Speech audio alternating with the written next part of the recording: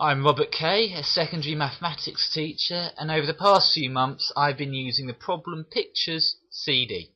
This CD has a variety of pictures with captions telling you what the picture is of and some questions to promote mathematical thinking.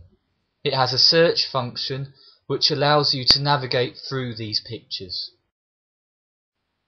This CD can't be used directly on a whiteboard. The font is far too small and there's far too much of it, so instead I've used excerpts from it in a couple of flip charts in lessons and over the past couple of minutes I'll be saying when I've used it successfully and when I haven't. Here is a slide which was particularly successful. It was used as a starter where pupils drifted into the classroom and took a seat. It created an atmosphere of suspense and they had no idea what this was leading to. It then led to this slide where I introduced Rushton Lodge, built with number 3 in mind, which represents the Holy Trinity.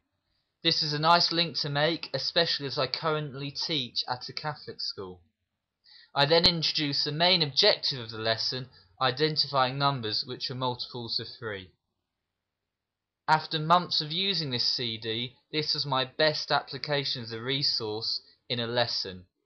When used successfully, the pictures gave a historical reference to a topic before pupils immersed themselves with calculations. Here is another example of a successful use. It simply showed information pupils needed to know in the 19th century. The message here was to make progress there is information you need to know at hand. We then looked at square roots. What I'm about to show you now is a slide which wasn't successful and I would be very hesitant to use it in the future. As I was doing a lesson on geometry, I used the search function to find a picture connected with angles. It led me to this, a picture of an airplane wing.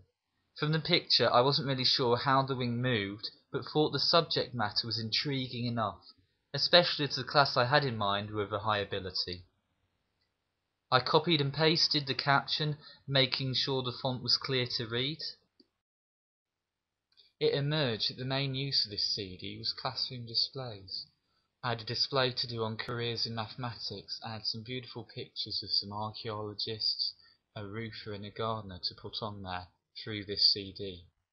Uh, using it in lessons was fantastic, but it took an awful lot of time to make accessible links uh, pupils could follow between the picture and the main content of a lesson. So I don't think you could use it so much in a regular occurrence. To conclude, the CD encourages mathematical conversation in the classroom, giving it a cultural reference. It shows plenty of applications, good to refer to when planning any lesson, and is very good for displays.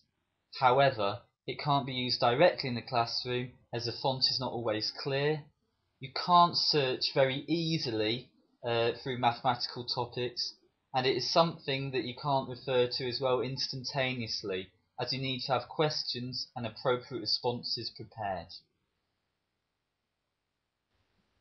I hope you found this review useful. This is Robert Kay saying goodbye.